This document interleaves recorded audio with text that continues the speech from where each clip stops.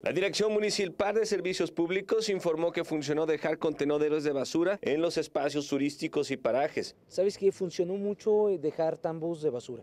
Realmente creo que la cultura este, va a empezar también por parte de nosotros como la, la Dirección de Servicios Públicos, donde tenemos que poner un poco más de tambos en cuestión de cuando haya este tipo de, de, ¿cómo se llama? de vacaciones y poder prevenir completamente para que la sociedad duranguense nos ayude a depositar la basura en sus lugares. Así que de esta manera no podemos decir que tuvimos los parajes turísticos eh, sucios o que anduvimos recogiendo, ha sido mínimo. Esto ha permitido que las zonas se mantengan más limpias durante esta temporada vacacional. Decirles que fue más bien antes de lo que fue Semana Santa, este, pasar por todo lo que fueron las carreteras, eh, ir este, papeleando con los muchachos, fue un total de 71 toneladas. Es a lo mejor donde tenemos que prevenir y como ciudadanos, pues no arrojar la basura a, a ¿cómo se llama?, la carretera. Si hubo menos, eh, digamos, residuos que otros años. sí, parajes. definitivamente, definitivamente eh, no hubo este, botellas quebradas, al contrario, se mantuvo la limpieza dentro de ellos y creo que la colaboración del área de servicios públicos